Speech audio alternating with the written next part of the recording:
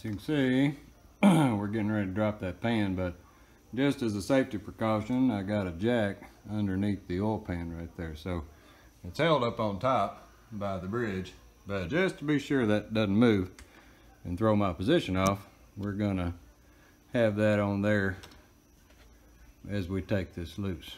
So let's get set up here. We'll start by just loosening these backings. I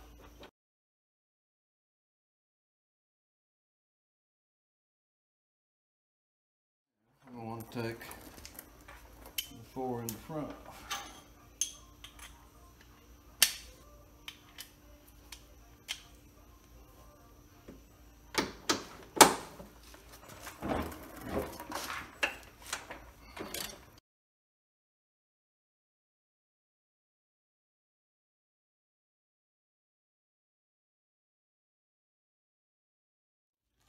That one done. I have to switch positions. Okay, quite pull.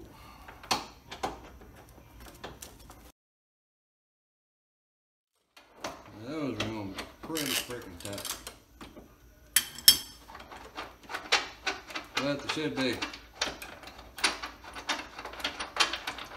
Very structural part of this vehicle. Alright, so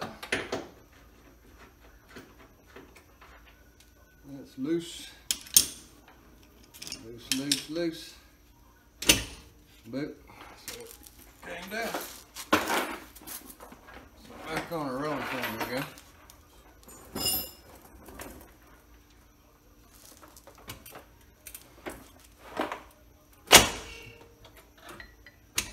So it's free. Now the question is, will it pivot down? Because we still have to get these power steering lines loose. So let's go ahead and take it further loose. I'll push it back up.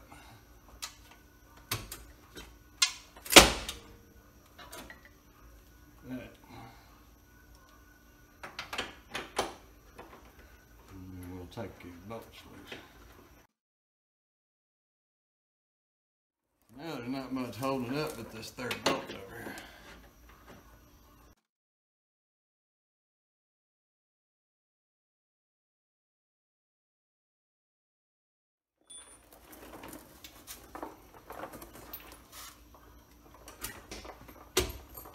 Feels like it's hitting on the motor, motor mounts. Alright, so let's see. I guess best thing to do at this point is see if the motor is actually held up by the upper clamp.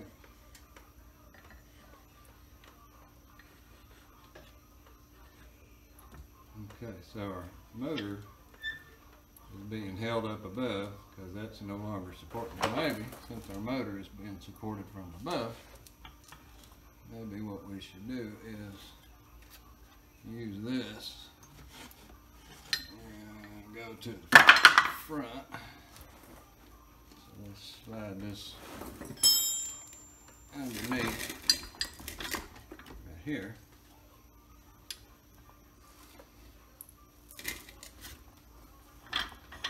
And give it some support in the front.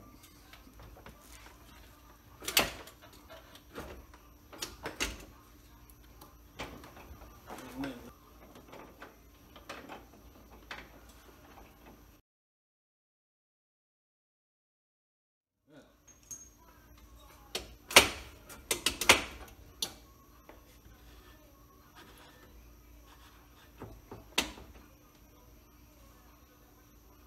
It feels like it's gonna lower down.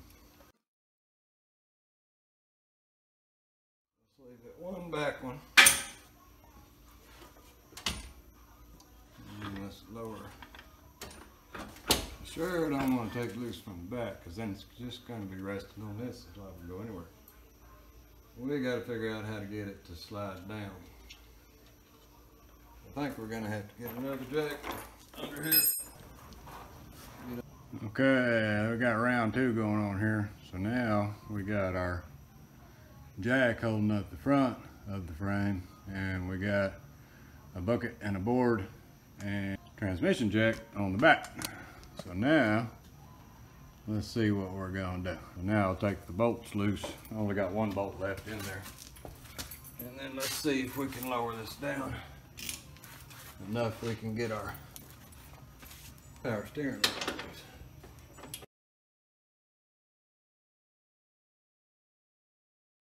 So now we got our bolts out in the back. Everything's held up. So now let's try lowering down a little bit.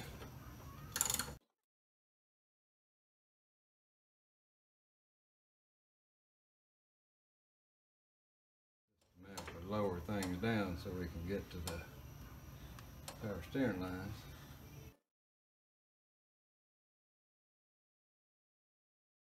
I got it lowered down a little bit.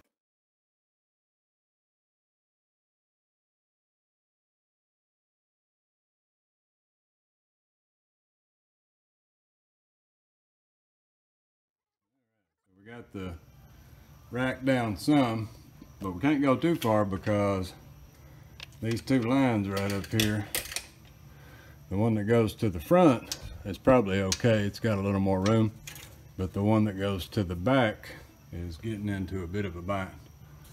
And so what we got to do right here is this line. It goes right underneath there, if you can see it. So that one comes around and goes up to the top. So at this point, we got to take these lines loose. But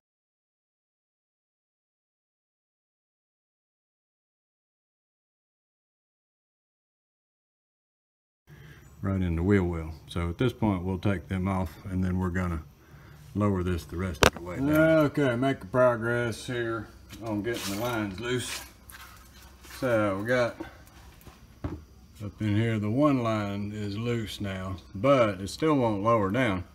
And the reason why is that line back way back there where that socket is, there is a little 10 millimeter nut that attaches a bracket for this line. And so thought I'd just add that because it took me a few minutes to figure out why it still wasn't lower down even with that removed, but it's because there's a little bracket back there. So you got to take a nut loose way back in there and you'll see it um, once you're looking.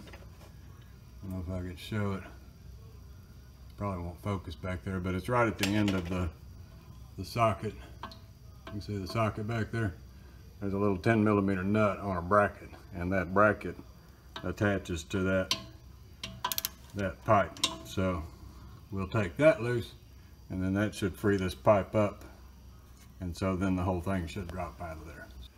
All right, after a little bit of trials and tribulations, our steering rack is out along with our lower frame member. Everything went well. You only you have to take that one off right here. Like I say, there's a, well, you can kind of see it right here, a little easier. So this is the one pipe that has to come off and then right there is the bracket that holds that one pipe on. So I'll crawl up under there and show you, but you can see it when you're looking this way into the car. Right there is your input shaft and all of that. And so right here, if we look under the car, right here is that pipe. So there's the connector. And then right here is the little bracket thing. So this one has to stay with the car. It normally sits up in there like that. But now that we got all that out, we pretty much have an oil pan clear. So we'll start on that first thing bright and early. Alrighty. Well, thanks for watching so far.